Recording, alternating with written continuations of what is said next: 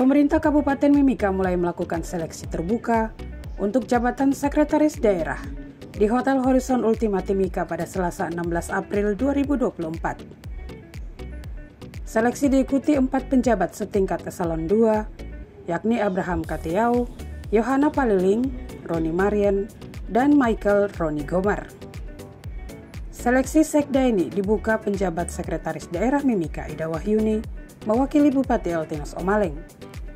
Dalam sambutannya, Ida mengungkapkan pelaksanaan seleksi sekda definitif menjadi salah satu tugas selama Pemkap yang akhirnya hari ini terlaksana. Ida memberikan apresiasi kepada Kepala Badan Kepegawaian Pengembangan Sumber Daya Manusia Mimika beserta jajarannya, sekretariat, dan panitia seleksi yang telah bekerja.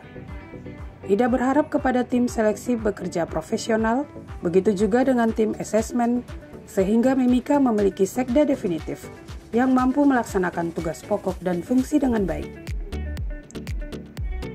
Perwakilan tim asesmen dari Pusat Penilaian Kompetensi Aparatur Sipil Negara Purwanto menjelaskan, dalam seleksi sekda, metode yang digunakan terdiri dari beberapa simulasi.